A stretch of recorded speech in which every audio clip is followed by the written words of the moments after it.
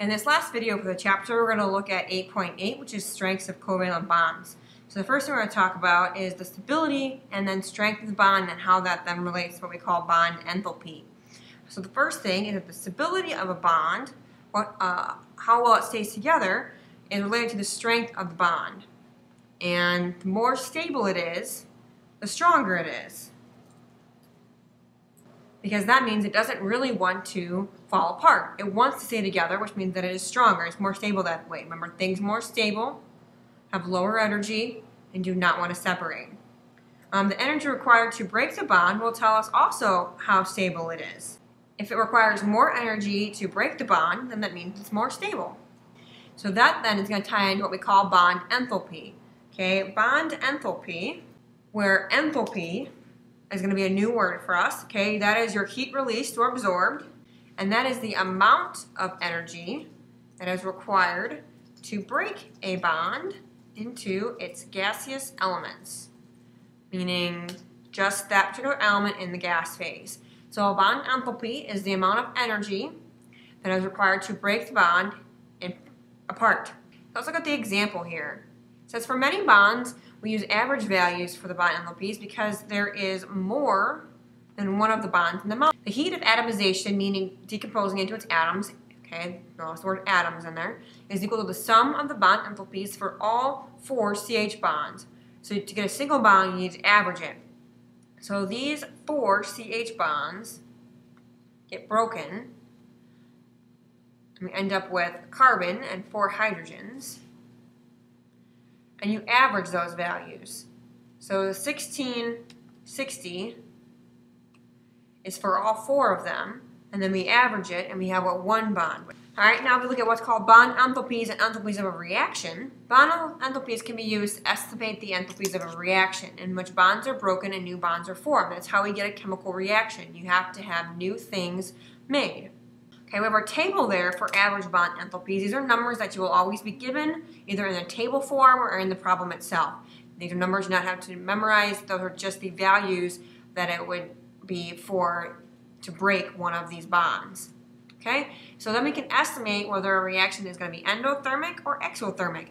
Endothermic means you put energy in, so it's going to be positive value. Endothermic, you get energy out, so it's less than zero and it's a negative value.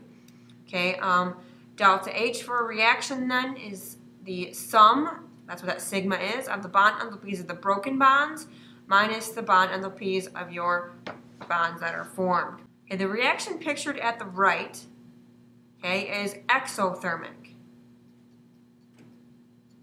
And they're ex exothermic because the bonds in the product are stronger than the bonds in the reactants.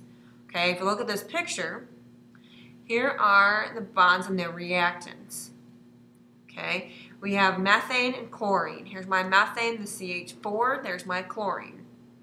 Now to make the product, which is CH3Cl and HCl, we have to break these bonds. So here we have my reactants, okay? And we break these bonds. We have to put energy in to break them, pull them apart, so my enthalpy goes way up. Now I take one of the H's off. I break apart the Cl's so that I can then make the CCl and the HCl. The H then bonds with one of the chlorines. The chlorine then goes onto the carbon, and we end up then with our products. When we get lots of energy out, then when those rebond, okay, and we see a very low energy here. Now when we look at this, notice how the reactants are higher up than my products, so that means that this is exothermic. You lost energy here. Okay, energy got out. If you want to know the actual numbers that go along with this, okay, if I want to figure out the actual delta H, remember we take the break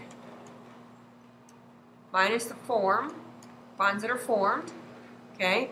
So the bonds that I'm going to break, I'm going to break a CH bond. I'm also going to break a Cl-Cl bond. I'm going to form a CCl bond, and to form an HCl bond. So you take all of these energies and we add them up.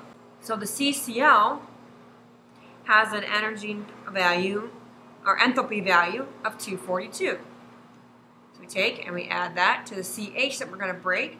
And CH is uh, 413.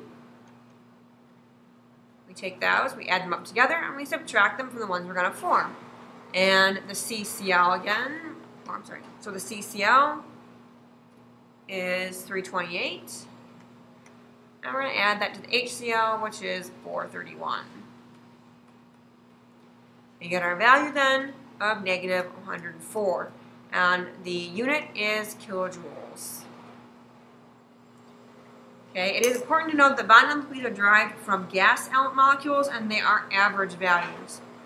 Instead of just breaking or forming what I need, you could also break everything and then form everything. It would just be a little bit higher of a number. You're going to have, have things that are going to cancel out on either side because some things just get broken and then reformed again back again. So looking at the example here, categorize the ones that get broken and the ones that get formed, add up the numbers and subtract.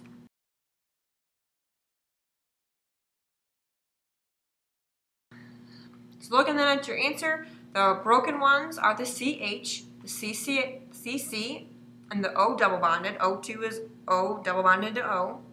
We're going to break six CH bonds. Okay, three on the right side, three on the left side. We're going to break one carbon-carbon bond, and we're going to break the OO bond. We then form two COs, okay? But it's not two, it's actually two of those, so it's four. And then we're going to have the same thing here. We break two OH bonds, but actually it is six because there's three of each one that gets formed. So same thing on the left-hand side here. It should be seven halves of the OO because really you don't even have one full mole. We take all the numbers off the chart, we subtract them, and we should get negative 1,415.5 uh,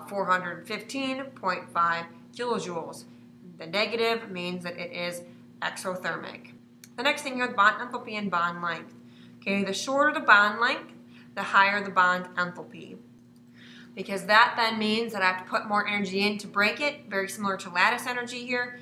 And so the shorter the bond, the harder that is. And we see then there the average bond lengths for the different ones. And we should remember that carbon-carbon is the shortest when it is triple bonded and the longest when it is single bonded.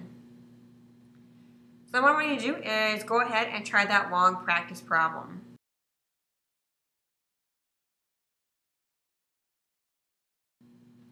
Alright, looking at this practice problem, it's a cumulative problem. Okay, you start out with phosgene. You need to figure out the molecular formula. So we take the percentages, we divide by the molar mass, got the mole numbers.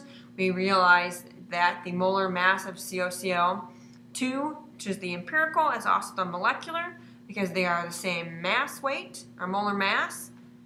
Um, then it wants to know the three Lewis structures for the molecule, and we're going to figure out the formal charges and the bond enthalpies. We figured out from B here that this is the best structure based on formal charges because they are all zeros versus one pluses and one minuses. And when we look at the reaction, Okay, we've got carbon monoxide, CO, plus Cl2 makes COCl2. You draw them out because one of the few times that carbon does not have four bonds. You look at what you're breaking. You're breaking a triple bond of carbon-oxygen and a single bond of, chlorine-chlorine, and you are making two carbon chlorines and one carbon-oxygen double bond. We get the values. Remember, it's broken minus formed, and we get a negative 141 kilojoules.